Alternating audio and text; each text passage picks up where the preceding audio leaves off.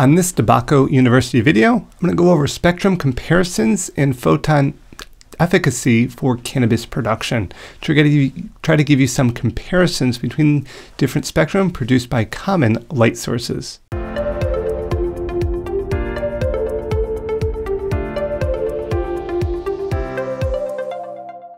All right, let's get into spectrum comparisons. And if we look just at the title slide here, looking at a regular day, dawn, midday, and dusk, we can see how the overall wavelengths and intensities can change throughout just a single day. But here we're going to focus a little bit something a little more consistent indoor lighting.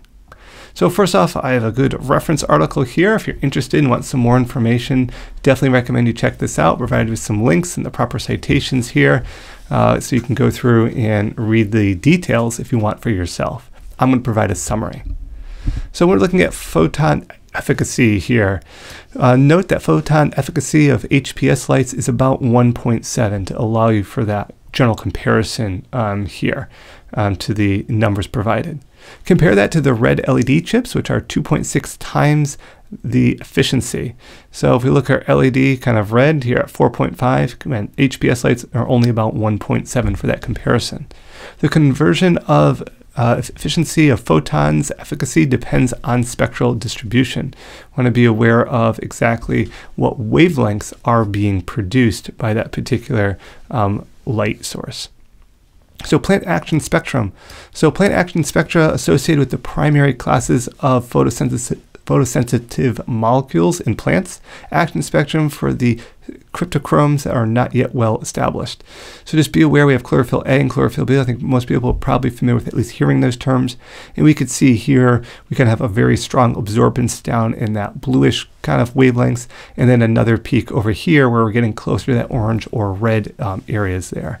And these are measured in wavelengths, which we'll see in future slides here on this presentation. So first off, when we're talking about light in general, I thought this picture was kind of interesting just to show light pollution on a soybean crop. So if we're looking at the kind of soybean field here, and we're seeing a roadway, we're noticing these like dark green kind of like little almost like bubble areas. And we'll notice those correlate with street lights. So this shows a great visual of how light pollution or light can impact um, plants here. And we see this again on a soybean field with just the streetlights impact on some of the green coloration we see in this crop.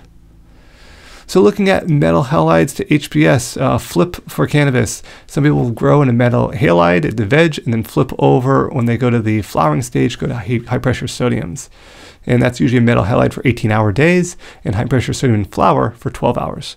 Metal halides have about 30% blue to keep plants short with tight internodes.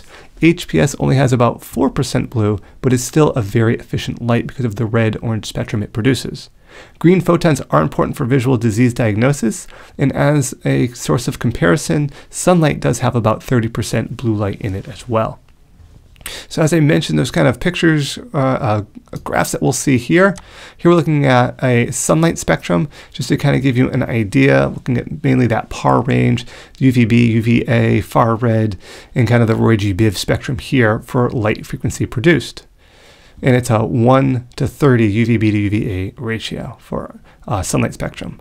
If we go to high pressure sodium spectrum, we're noticing just if we go back and forth for just a couple seconds, here's sunlight, here's high pressure sodium, back and forth, we're seeing a massive change here uh, in the amount of light frequency that's produced by the high pressure sodium spectrum.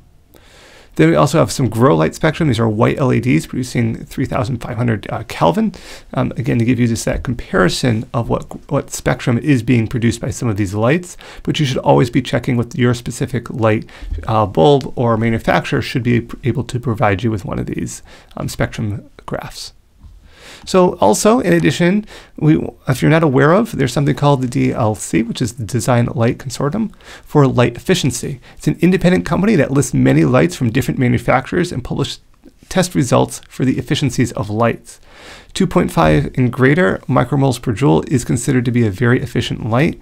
And this is kind of a nonprofit organization that can help kind of provide you with some more details and information potentially about lights that you might be considering purchasing so you make the best selection for your grow area. And again, as always, if you want to learn more, I've provided you with some great names here to go through. Take a look. Special thanks to them and the research, of course, that they've done to contribute to the information presented here uh, and research all over so you can hopefully become an informed consumer when you're looking at purchasing lights.